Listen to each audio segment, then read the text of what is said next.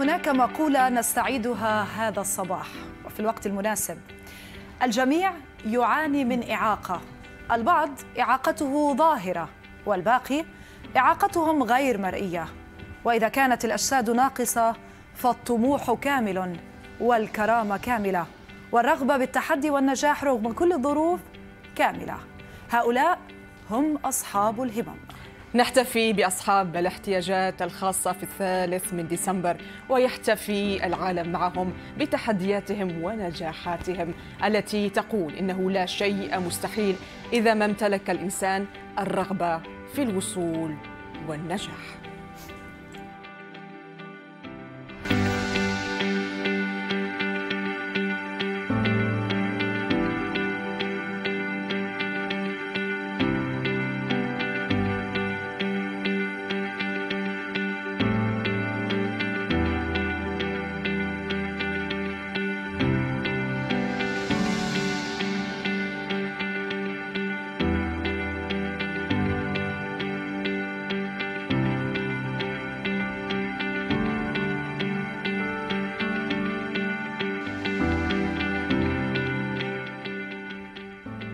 وللمزيد ينضم إلينا في الاستوديو الكاتب والاعلامي الاماراتي محمد الغفلي عضو مجلس إدارة جمعية الإمارات للمعوقين بصريا. يسعد صباحك سيد محمد نورتنا في الاستوديو في هذا الصباح.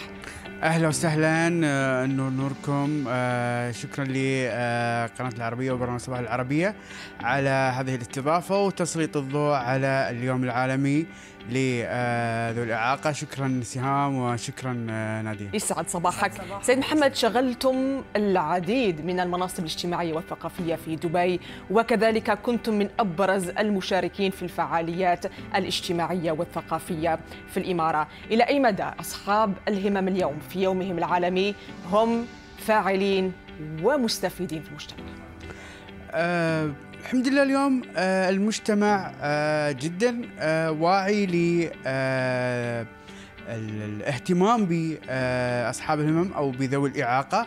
آه يعني الحمد لله وصلنا 2021 فهناك كثير من الفرص آه المتاحة أمامهم كثير من آه الأبواب التي فتحت آه قضاياهم و تلبية رغباتهم. اليوم كثير من المؤسسات المجتمع المدني لها دور كبير في الفترة السابقة في توعية المجتمع إلى أصبح اليوم يعني الاهتمام بأبسط شيء. مثلا خلينا نتكلم عن بما يسمى بإمكانية الوصول وهي تهيئة المباني والبنى التحتية أمام استخدام فئة ذوي الإعاقة. نعم، محمد كل عام وأصحاب الهمم بألف خير ومن نجاح وتقدم إلى الأمام. اليوم أنت معك ماجستير في الإدارة التنفيذية واليوم في عدة من الموضوعات التي يتطلع إليها أصحاب الهمم من بينها الثقافية في العالم. إلى أي مدى الدول العربية لديها ما يكفي من الأساسيات والحقوق التي تكفل أصحاب الهمم فيما يتعلق بتنشيط السياحة لديهم؟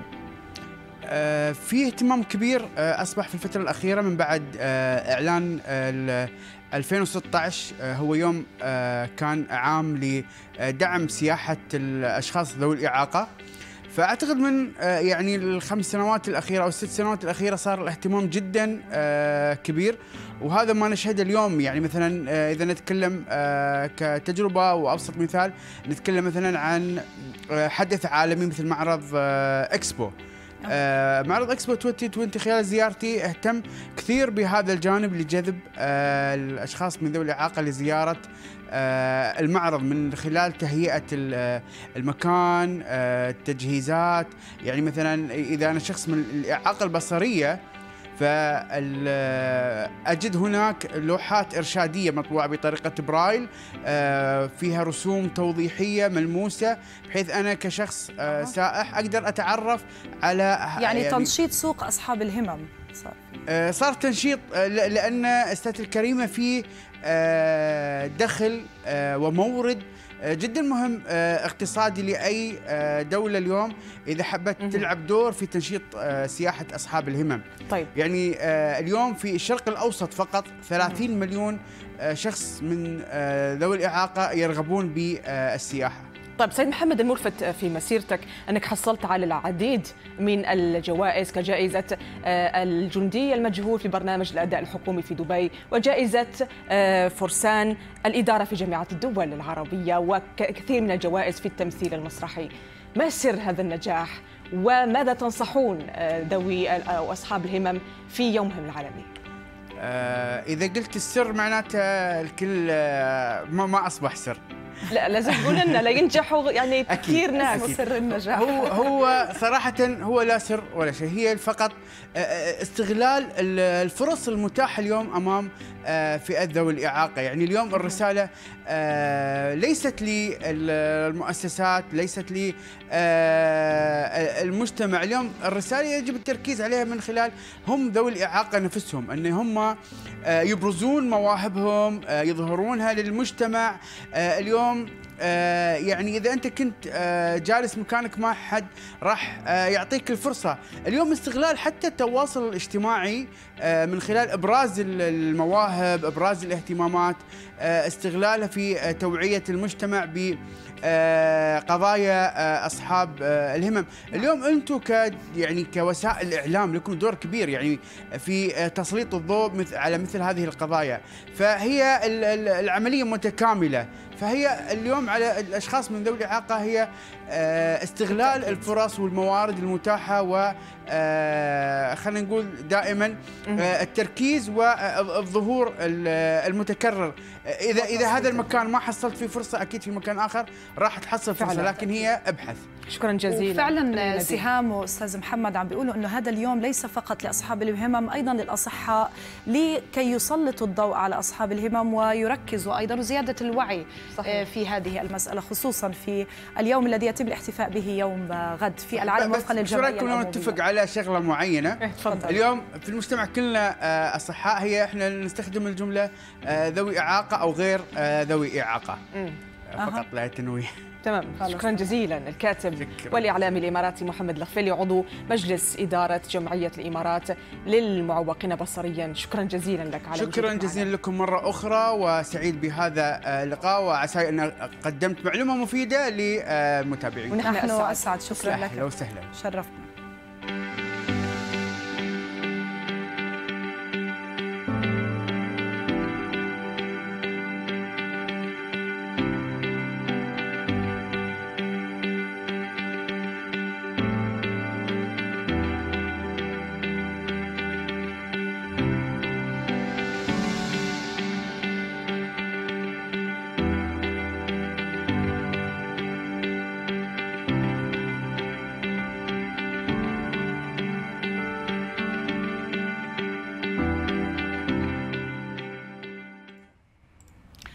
ضيفتنا التالية بطلة. بطلة بكل معنى الكلمة. سنتابعها وهي تقوم بتجربة طيران المظلي. ريتا سعادة البطلة البارالمبية.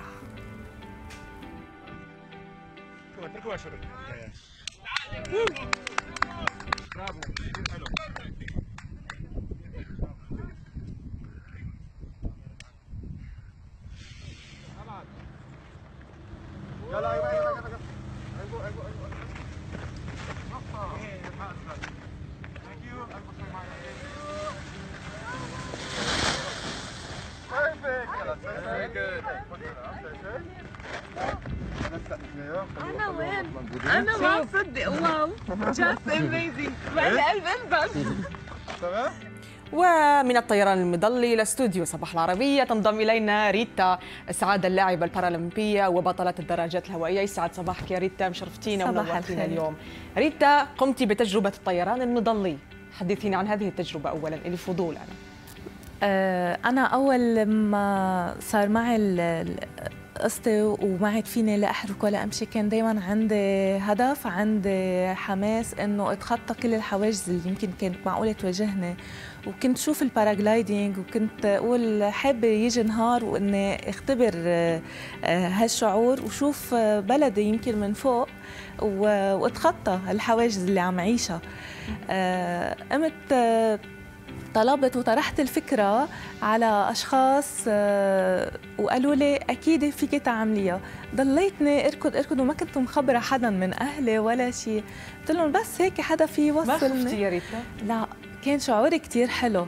بتعرفي آه، حس آه، أحلى شعور معقول يمكن الانسان آه، مقيد بالكرسي أها. بالاربع بالدولابين إنه يحس حاله فوق متحرر.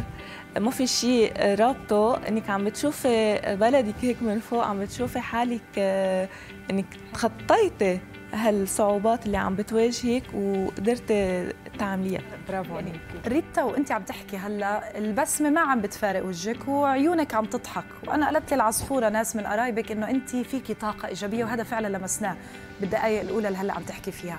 شو سر هذه الروحانية وهي الطاقة الإيجابية اللي معك رغم التحديات؟ بتعرفي آه، آه، يمكن فقدت نعمة المشي بس بالمقابل الله أعطاني سلام داخلي أعطاني فرح. وهذا أهم شغلة على أمم. السلام الداخلي. بتعرفي مية بالمية لا لتقدري تواجهي بالحياة الصعوبات اللي بدك تواجهيها. بدك تكوني يمكن عايشة بسلام عايشة بفرح وعندك إيمان إنك قادرة تتخطي رغم كل شيء الصعوبات اللي بدها طيب تقطع الملفت يا ريتا انك كذلك شاركتي في ماراثون الدراجات الهوائية بطول 42 كيلومتر فزتي بالمركز الأول. مزبوط برافو عليك مرة ثانية. احكينا عن هذه التجربة.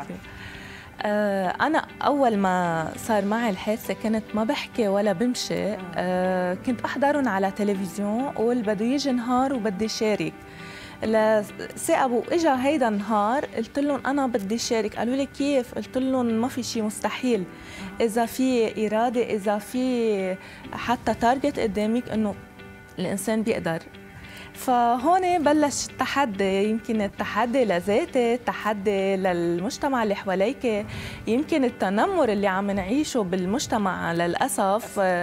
هالشي كان يعطيني حافز أكتر إنه لا بدي كفي بدي أوصل أثبت حالي. يمكن لو بهالقدرة الصغيرة اللي الله المركز عطيني الأول. إياها إن شاء الله عندك هوايات؟ إحنا سمعنا بتحبي ترسمي كمان بحب أرسم كمان مزبوط بحب أرسم وثقب من ورا الرسم هيك حبيت فوت شوي بآرت بقصة التجميل وال make up آه، قلت هيك بحب أعبي كنت وقتي بستفيد فيه وفي كلمة حابة تحكيها للناس اللي عم بيشاهدوك تنصحيهم؟ آه إنه ما في شيء مستحيل بالحياة قدام الإرادة رغم كل الصعوبات اللي عم نواجهها وكل ال- المطبات يمكن الإنسان بده يكفي الحياة حلوة في يحقق إنجازات وانتصارات كبيرة وأنت. خير مثال يا ريتا أكيد. شكرا جزيلا نورتينا. في الاستوديو ريتا سعادة اللاعبه البارالمبية وبطلة الدراجات الهوائية شكرا جزيلا يا ريتا Thank you. شرفنا فيكي. ثانك يو لكم وفي النهاية رسالة من الناس إلى أصحاب الهمم أما رسالتنا نحن فإن لكل إنسان مكانا في هذه الحياة ولا حدود للطموح مهما بلغت الصعوبات. الإعاقة مش عائق للحياة الإعاقة دافع وبتمنى لهم التوفيق بحياتهم. اتمنى منهم يكونوا أكثر فعالين في البلد في ونشوف منهم ناس كمان في ال- المجالس المحلية والمجالس النيابية. والله يعطيهم الإصرار والقوة دائما ويكون معاهم إن شاء الله. أم أن أنتم أقوياء ويقدرون يعني يمرون بالمراحل الصعبة إن شاء الله والله معهم دائما. نشوفهم أقوياء ونشجعهم دائما. وهم يعني القلوب الطيبة والطاهرة. وكلمتي لهم نحن معاكم دائما وأبدا ونحبكم. وانتوا أصلا سبب ال- الخير الموجود في المجتمع بصفة عامة.